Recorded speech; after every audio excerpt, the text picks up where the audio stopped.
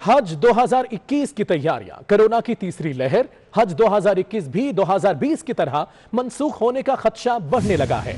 जराये के मुताबिक गुजशत चंद दिनों से सऊदी हुकूमत ने हज के मामला से मुतलिक मुकम्मल खामोशी इख्तियार कर ली। सऊदी हुकूमत के साथ आजमीन हज से मुतलिक अमूर की तैयारियाँ ठप पड़ गई। गौहर महसूद हमारे साथ है।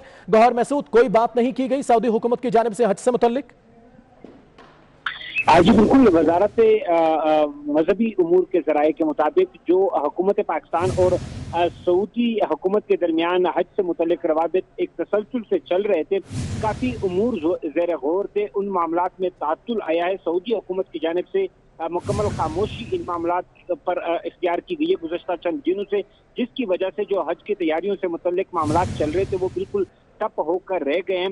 हज की तैयारियों से मुतलिक मामला बिल्कुल सुस्त रवि का शिकार हो गए। जो तैयारियाँ होनी थी वो अभी तक बाकी रह गई हैं, जिसकी वजह से वजारत मजहबी उमूर में इस बात पर एक अजीब किस्म की सूरत हाल पैदा हो गई है कि हज दो हज़ार इक्कीस होगी या नहीं होगी, क्योंकि जो सूरत हाल जो पेशरफ इन्होंने करनी थी, वो अपने वक्त मुकर पर कर नहीं कर सके, जिसकी बुनियादी वजह सऊदी हुकूमत की जानब से मामला पर खामोशी है। जी। के लिए शुक्रिया।